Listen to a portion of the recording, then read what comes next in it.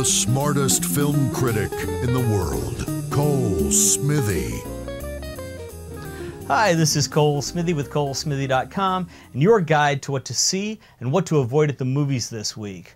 Awesome. Between Chadwick Boseman's riveting portrayal of James Brown and this film's pitch perfect kaleidoscopic narrative form, Get On Up is the kind of musical biopic audiences await with bated breath. So you want to be a singer? Oh, no, sir. What I really want to be? Mechanic. You got a problem?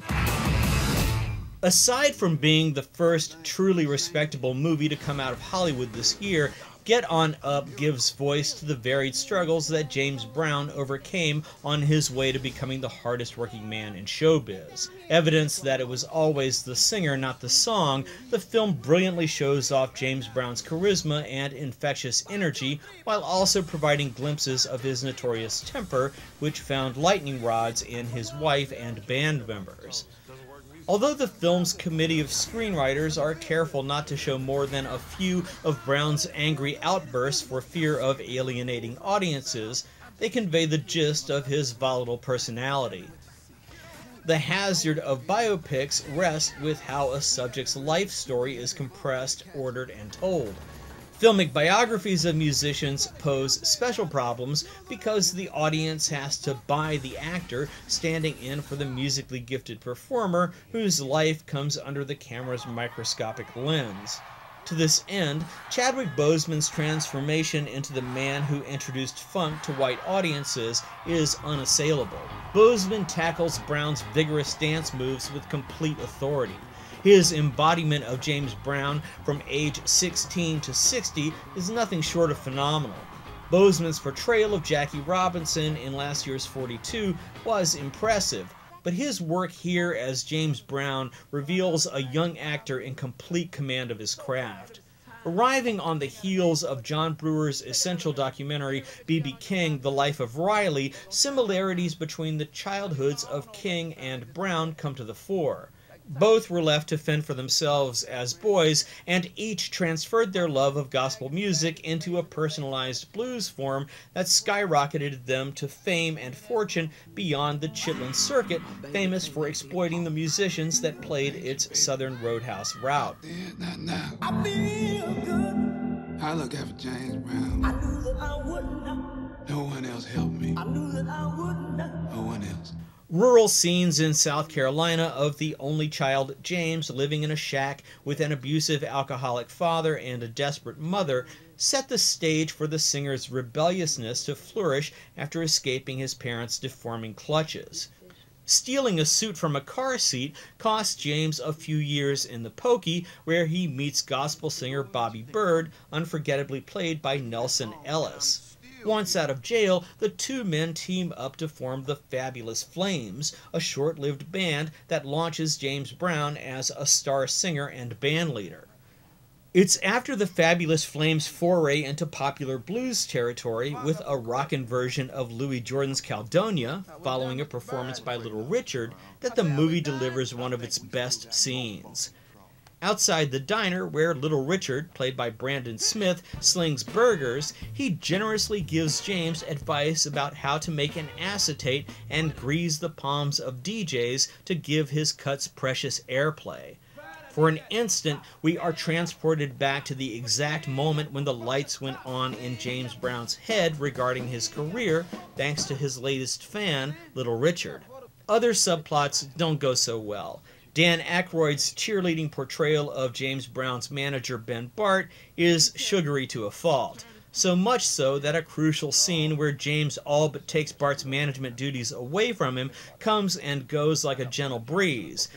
I doubt the discussion was so genteel when James Brown pulled the coup on Ben Bart in real life.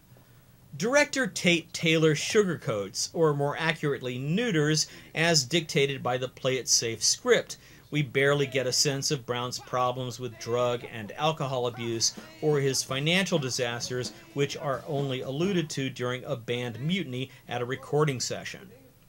Still, the film takes flight during its many stage performances of such James Brown barn burners as Please, Please, Please, Papa's Got a Brand New Bag, and Get Up Off of That Thing.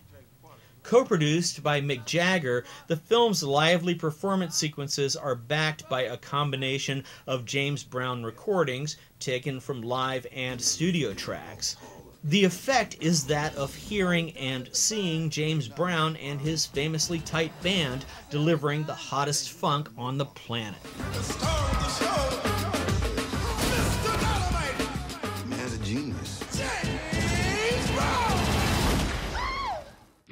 There are plenty of bones to pick regarding James Brown's legend in Get On Up, but the music effectively drowns out any such hair splitting. Whether or not you are a fan of James Brown, you've got to see what Chadwick Boseman does in filling the performer's mythic shoes. I give this almost perfect musical biopic an A minus. My sleeper pick is Finding Fela, and my guilty pleasure pick is The Strange Little Cat. My must have DVDs are Next Goal Wins from Ketchup Entertainment. Gangster from Inception Media Group, and My Wild Affair from PBS.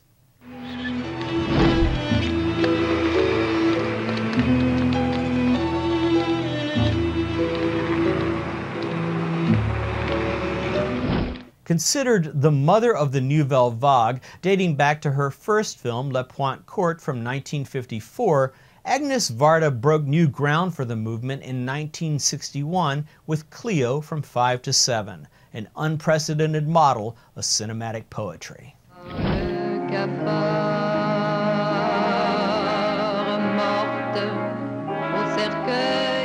Designed to represent the passage of real time, the film follows its anxious heroine Cleo through a heightened 90 minute period of her life in Paris on June 21, 1961.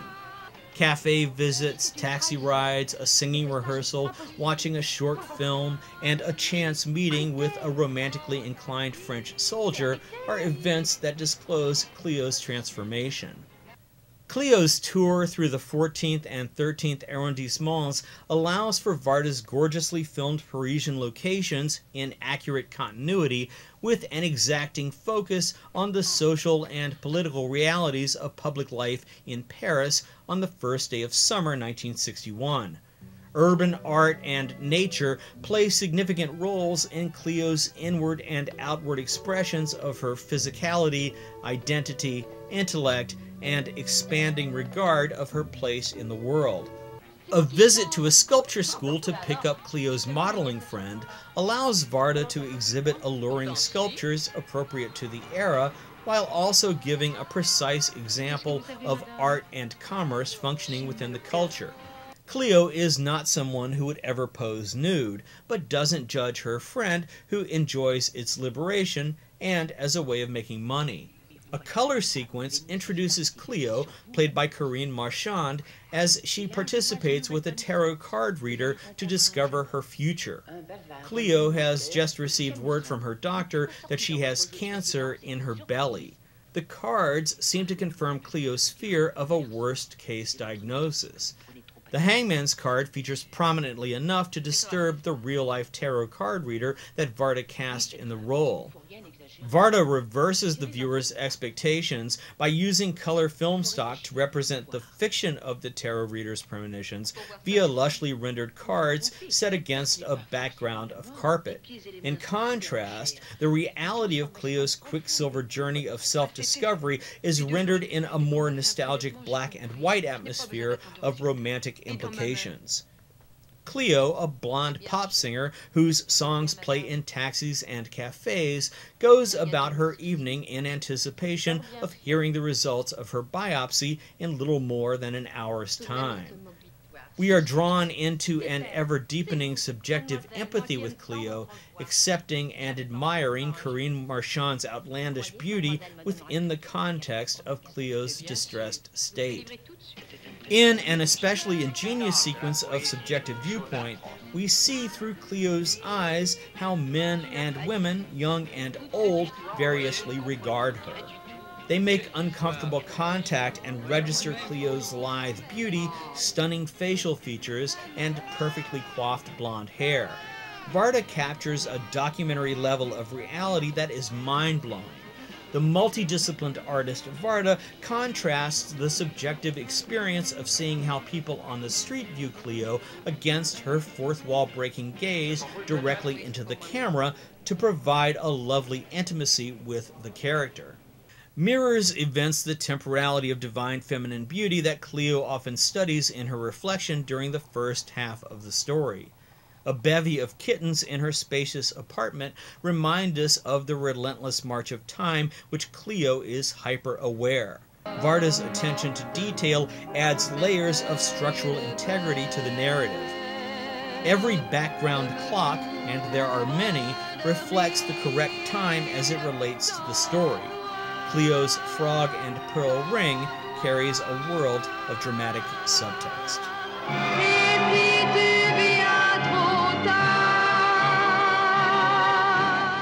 During Varda's 13 chapter story, Cleo gradually sheds her self and societally imposed disguises towards exposing her true identity. Cleo isn't even her real name. The filmic transportation from the ephemeral to the miraculous, from the disguised to the unveiled, speaks volumes in unaffected feminist terms about female reality in Paris in 1961.